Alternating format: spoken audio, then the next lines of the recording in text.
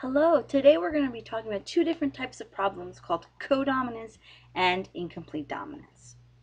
Incomplete dominance are the heterozygotes express traits that are a blending of phenotypes. So we have three genotypes coding for three phenotypes. So both alleles contribute to the phenotype. One is not hidden. What they saw was this effect in the plant snapdragons. This is what a snapdragon would be.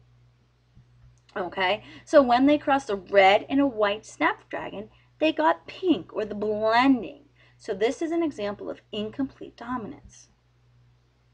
Again, red crossed with white gives you pink. All right, and this is just a little fun facts about how this actually happens. The red allele directs the formation of an active enzyme that produces the red pigment. The white can't generate that active enzyme. So when there's two copies of the red, there's enough to produce red. But if there's only one allele present, then it's only going to be pink. Codominant is when you have two alleles expressed equally. So we're going to use two different capital letters. So both alleles are expressed equally. And we see this with blood types and blood groups.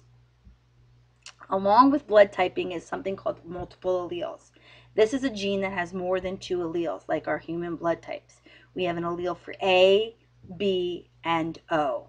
And we will talk a little bit about that when we talk about blood and blood types. So if you have any questions, please see me tomorrow. Thanks.